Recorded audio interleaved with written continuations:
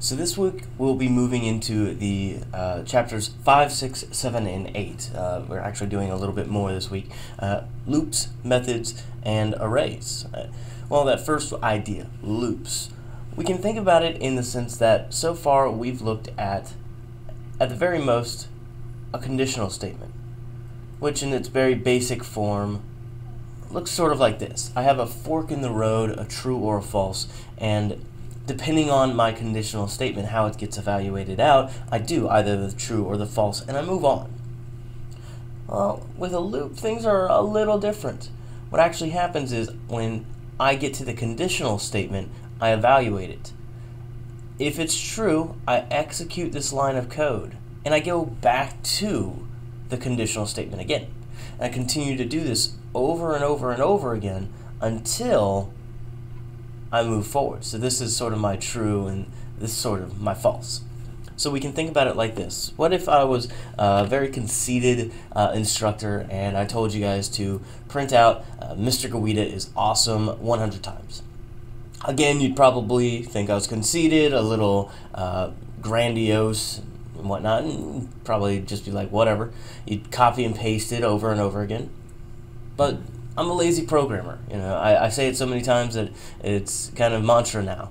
But having to repeat this line of code over and over again, there are better ways to do uh, that. You know, one of those ways is through uh, one of our conditional statements, which is something like our while loop. So, a little humor for us, we can take that, we can actually make it do the work for us, so long as we don't have a teacher telling us we can't do it, right? But let's actually think back about the if statement for just a second. Now the if statement, if we take a look at it, it had sort of this structure.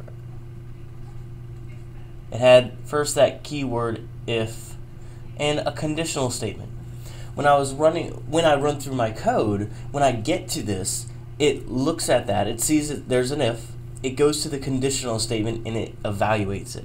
It says, is this true or false? And if it is true, it does whatever is in between these two brackets. Now, if it was false, of course, you know, it depends on if we have an else or not, but this basic structure, that actually comes into play when we look at our while loop. You can see the same kind of concept going on here that I have first my keyword, my while instead of if, and then I have my conditional. And say I'm even using this code, I've done an if statement, I've got a few things that go on, and then I hit this while statement. Well, what happens is the while looks at the conditional, evaluates whether or not it is true or false, if it is true, it's going to do whatever in between these brackets. Now the difference between an if statement and a while is an if just kept on moving forward.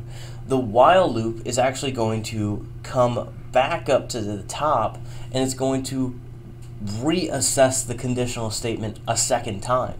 And again, if it's true, cool. We're actually going to repeat this line of code again.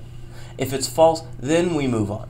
But we'll continue to, every time we are true, we will continue moving forward over and over again. So we can think about that same print statement. Uh, Mr. Gaweda is awesome.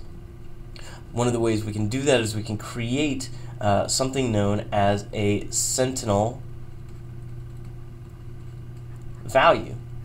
Sentinel value. It's just saying that this controls the loop controls the loop.